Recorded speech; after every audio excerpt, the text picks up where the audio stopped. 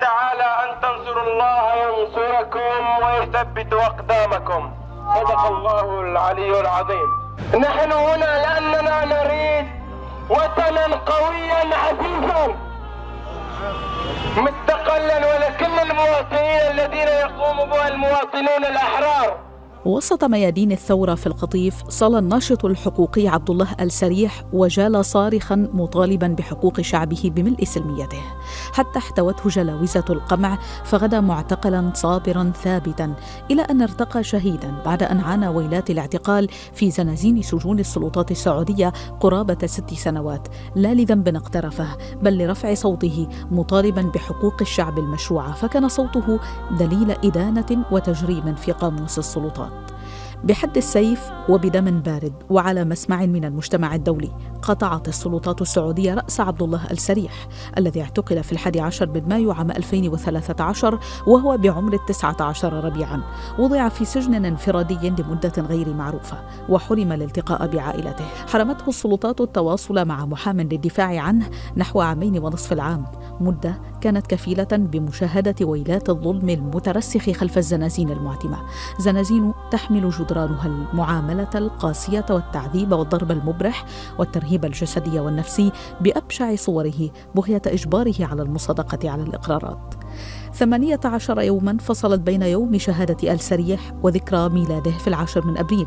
وقبل أن يطفئ شمعته الخامسة والعشرين قرر سيف الإعدام أن يتولى المهمة حارما عائلته من رؤية الابن الذي لطالما انتظرته وعانت غيابه ست سنوات. سنوات أحلتها السلطات بسيف الدم القاتل إلى فاجعة لن تندمل جراحها وسط حرمان العائلة من جثمان ابنهم محزوز الرأس مع استكمال سياساتها باحتجاز الجثامين.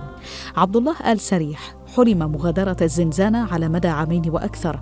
إلى حين عينت له جلسة محاكمة سرية في سبتمبر عام 2015 حين استلامه لائحة التهم الموجهة إليه. تهم كانت تتمحور حول مشاركته في التظاهرات السلمية التي شهدتها القطيف في عام 2011 ليستند القاضي إليها بإصدار حكم الإعدام بحقه وينفذ الحكم دون سابق إنذار. في يوم كشف عن استمرار سياسة السلطات في البطش والتنكيل والاضطهاد.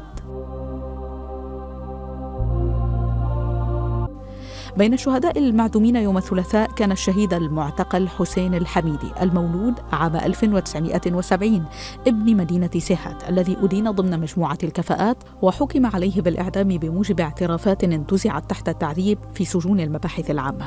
الحميدي الذي كان موظفا في شركة الاتصالات السعودية قبيل اعتقاله ورغم أنه لم يشترك في أي نشاط سياسي قطع رأسه بموجب قرار ملكي صادق على قرارات المحاكمات الهزلية. في إحدى الجلسات التي عقدتها المحكمة الجزائية المعنية بالإرهاب ارتسم فصل من مشهد الهول المعتاد في أروقة القضاء السعودي المسيس والمفتقر لأدنى مقومات النزاهة حيث طالب المدعي العام بإضافة أدلة لإدانة الحميدي كانت عبارة عن كتابين ممنوعين في السعودية هما الكشكول وضياء الصالحين.